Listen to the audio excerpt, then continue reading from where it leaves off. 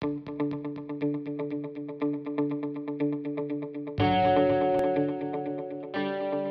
Katie Cook, and I'm the Senior Product Marketing Lead for Microsoft Canada for a product set called Dynamics 365.